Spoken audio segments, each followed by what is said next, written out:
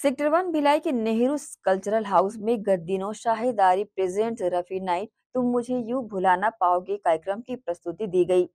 यह आयोजन का चौबीसवा वर्ष था। कार्यक्रम में मुख्य अतिथि के रूप में वैशाली नगर विधायक रिकेश सेन शामिल हुए।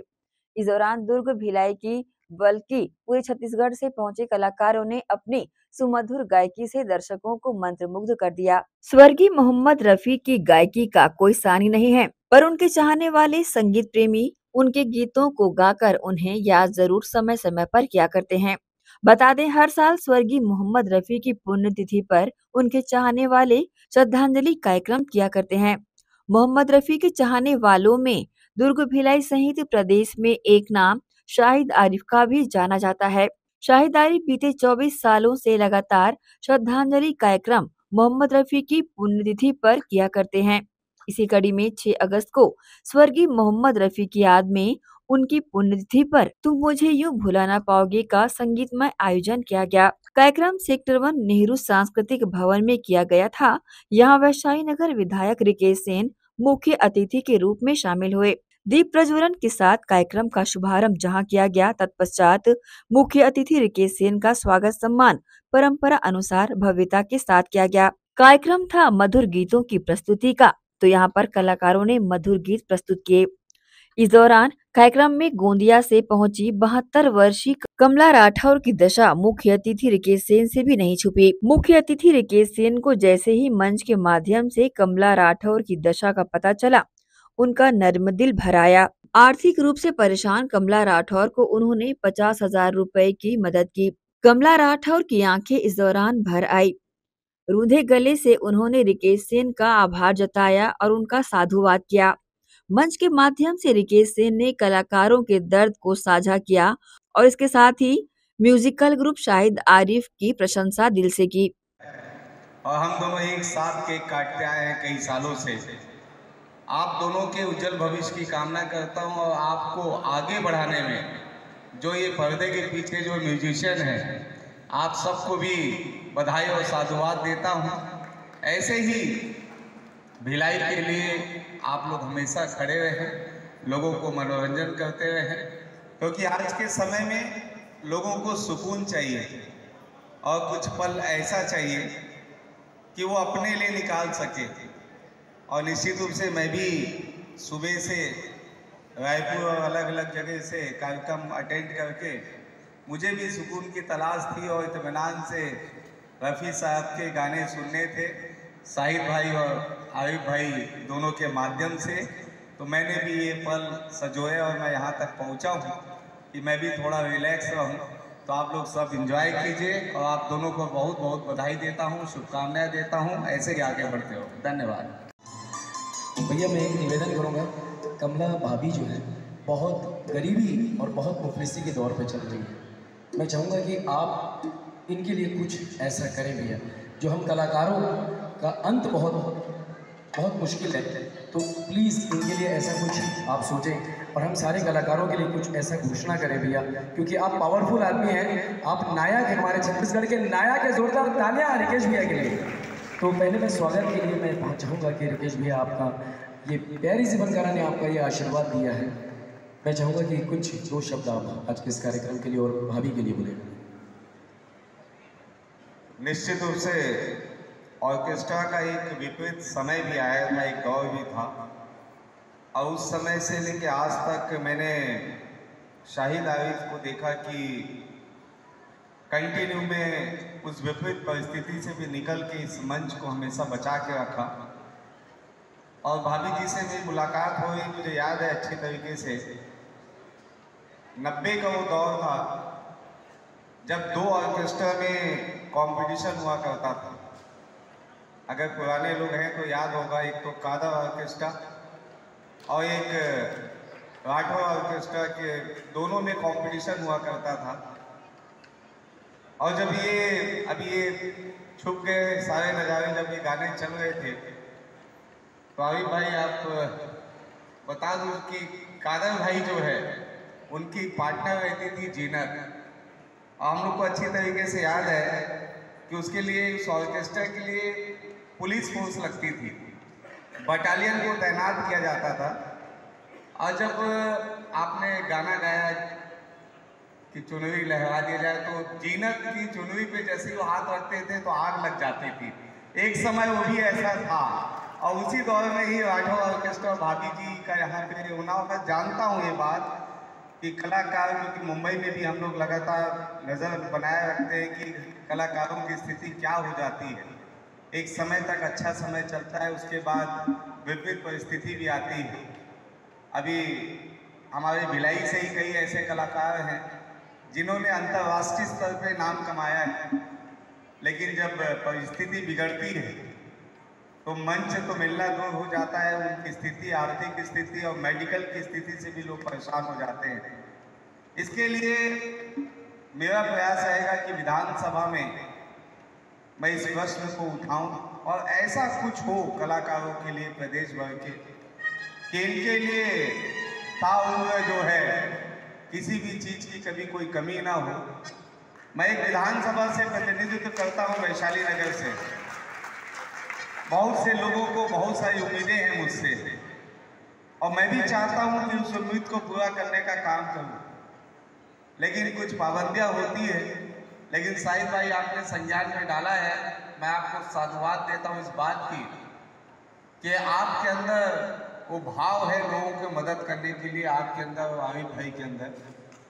आरिफ भाई और शाहिद भाई मुस्लिम समाज से बिलोंग करते हैं।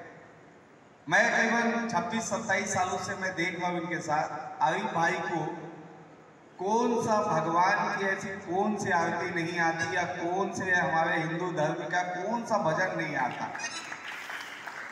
स्पेशल आरिफ भाई को ऊपर वाले ने बनाया है, शाहिद भाई को बनाया है। और इनके अंदर जो गुण है और ये जो दोनों भाई व्यवहारिक इतने हैं शहर के अंदर इनके विपरीत परिस्थिति पे भी शहर इनके साथ खड़े रहता है।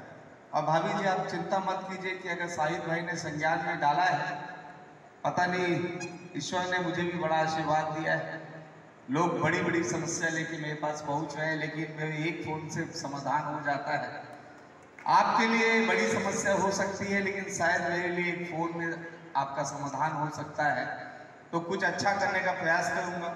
लेकिन आपके माध्यम से छत्तीसगढ़ के सभी ऐसे कलाकार जो अलग अलग क्षेत्र के, चाहे वो पंडवानी से जुड़े हो, चाहे मंच पे छत्तीसगढ़, छत्तीसगढ़ी गीत संगीत के माध्यम से हो, चाहे ऑर्केस्ट्रा के माध्यम से हो, हमने देखा है कि इंडियन आइडल चलता था।